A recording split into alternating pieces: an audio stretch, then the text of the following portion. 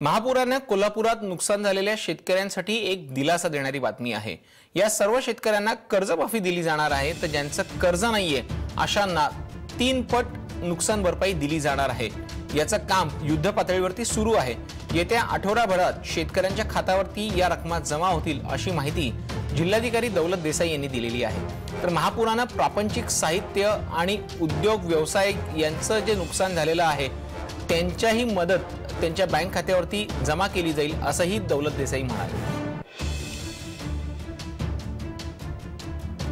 कोल्हापूर जिल्ह्यात आलेल्या ऑगस्टमधील पुरांमुळे ज्या ज्या नुकसानी झालेल्या आहेत मग त्याच्यामध्ये लोकांच्या घरांची नुकसानी होती त्यानंतर त्याचनंतर लोकांच्या घरगुती वापराच्या वस्तू होत्या त्याचनंतर छोटे मोठे उद्योगधंदे होते कारागीर होते त्यानंतर जनावरांची जनावरांचा पण मृत्यू झालेला होता.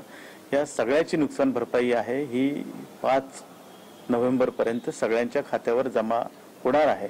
शेतकऱ्यांच्या जे पिकाची नुकसान भरपाई देण्याचा भाग आहे त्याच्या बाबतीत जवळपास अठ्याहत्तर हजार हेक्टर क्षेत्रावर ही नुकसान भ- झाल्याचा अंदाज आणि पंचनामे आमच्याकडे प्राप्त झालेले होते.